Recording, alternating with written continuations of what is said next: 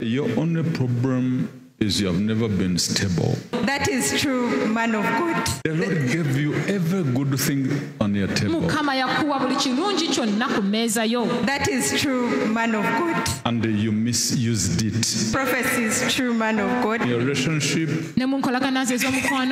ne mu nkolagana ze ez'omukwano the three men, they don't want to even talk about you. I've had three men, and these are very important men in our government. badde n'abasajja They have a lot of money, they are very rich, and they are very known in this government. era bamanyikiddwa mu One is gavumenti a honorable member, another is a, a minister, another another is a, an ED. And the one of the baby, ate nannyini mwana One of the baby man of God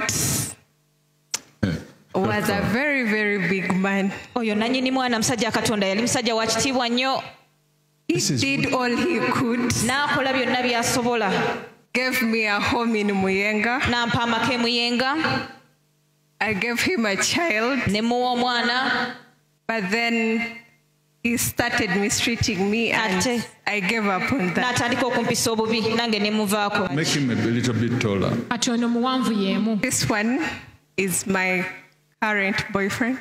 ono ye boyfriend wange gwe nnina kaakano He's a honorable member. Let me pray for you. kankusabire Don't mess up.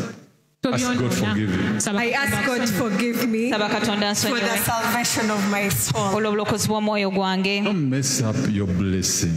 toyonoona mukisa gwo God loves you. katonda akwagala Don't do that. tobikola ebyo In the name of Jesus. mu linnya erya yesu